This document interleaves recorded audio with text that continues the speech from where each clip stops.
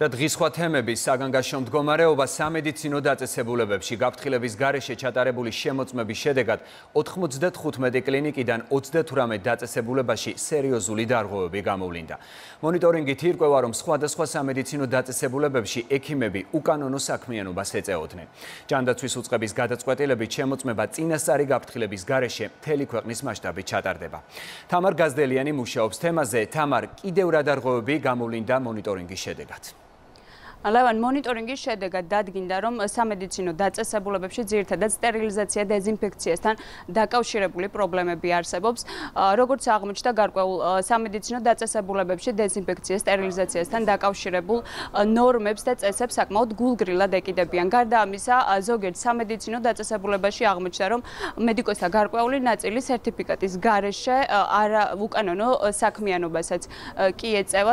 ჯანდაცვის სამინისტროში აცხადებენ რომ იმ სამედიცინო დაწესებულებებში, სადაც დარღვევები აღმოჩნდა, მათ მიეცემათ გარკვეული გონივრული ვადა, რათა ეს დარღვევები აღმოფხრან, ხოლო ამის შემდეგ თუ კვლავ განმეორდა კანონდარღვევა ამის შემდეგ უკვე სასამართლო ინდივიდუალურად იმსჯელებს ჩამოართმევს თუ არა ლიცენზიას სამედიცინო დაწესებულებას. სულ გამოვლინდა 98 დარღვევა, რომელზეც შედგა ადმინისტრაციული სამართალდარღვევის ოქმები.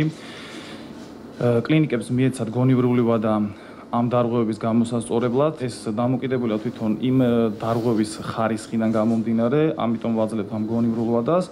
შესაბამისად, ამ გონივრული ვადის მერე მიდის ხელახლა ხდება შემოწმება და თუ არ არის აღნიშნული ქმედება აღმოფხრილი, ისევ ადმინისტრაციული სამართალდარღვევის ოქმიდგება, შემდგომ უკვე ინიშნება წარმომადგენელი სააგენტოს მხრიდან, რომელიც უზრუნველყოფს ადგილზე ყოფნით ამ პრობლემის აღმოფხვრას, თუ მე არ აღმოიფხვრება ეს პრობლემა, უკვე სასამართლო ნიშნავს თავის წარმომადგენელს და უკვე ამის შემდეგ დგება საკითხი ნებართვის ან ლიცენზიის გაუქმების, დეზინფექცია, სტერილიზაციასთან დაკავშირებული საკითხები იყო, რომლებიც შედარებით უფრო გამოკვეთილი იყო ამ ეტაპზე. უკანონო საექიმო საქმიანობას რაც ეხება, მინდა გითხრათ, რომ ნებისმიერი ექიმი, რომელიც საქმიანობს კლინიკაში, ის უნდა იყოს სერტიფიცირებული.